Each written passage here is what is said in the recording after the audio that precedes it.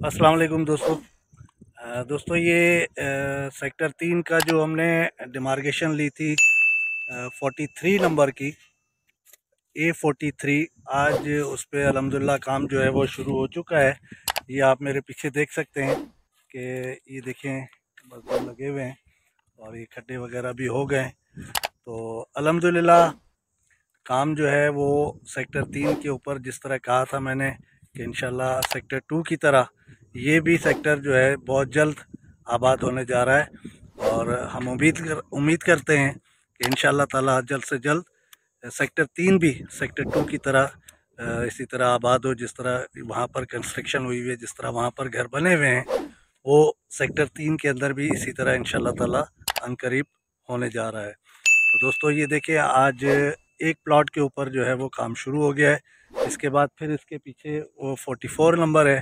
اس پہ بھی انشاءاللہ جلد کام شروع ہوگا اسی طرح اور مزید بھی پلاٹ ہیں جن پہ جلد سے جلد جو ہے وہ الاٹیز جو اپنا کام کرانے جا رہے ہیں۔ تو انشاءاللہ اللہ سے امید رکھتے ہیں کہ سیکٹر تین بھی ایم ڈی اے کی اور سیکٹروں کی طرح جیسے سیکٹر ٹو کے اندر ہے، یا سیکٹر گیارہ میں سیکٹر نو کے اندر ہے، سیکٹر پانچ کے اندر ہے، جس طرح گھر بنے ہیں۔ اسی طرح سیکٹر تین کے اندر بھی جو ہے وہ جلد سے جلد جو ہے انشاءاللہ وہ گھر بننے جا رہے ہیں۔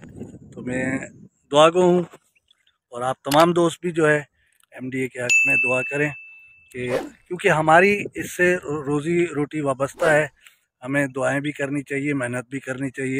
الحمدللہ ہم محنت کر کر رہے ہیں اور آپ تمام دوستوں سے بھی گزارش کرتا ہوں کہ تمام دوست جو ہے، جہاں سے دیکھیں روزی کما رہے ہوتے ہیں، وہاں پر محنت کرنی چاہیے اور اس کے لیے غلط نہیں بولنا چاہیے، اس کے لیے غلط کمنٹس نہیں دینے چاہیے۔ جتنا ہو سکے اس اسکیم کے بہتری کے لیے، بہتر بہتر سے بہتر بات کریں اور ایم ڈی اسکیم ون کے لیے دعا کریں کہ انشاءاللہ تعالی اللہ کرے کہ یہ جلد سے جلد آباد ہو۔ آپ تمام دوستوں کا بہت بہت شکریہ۔ اور یہ دیکھیں، سیکٹر تین ہے، یہ سارا میرے پیچھے، یہ پیچھے یہ دکھاتا ہوں میں ابھی آپ کو۔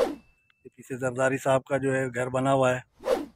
جس پہ ان کی آفس بھی ہے، آگے پھر سیکٹر ٹو ہے۔ آپ تمام دوستوں کا بہت بہت شکریہ۔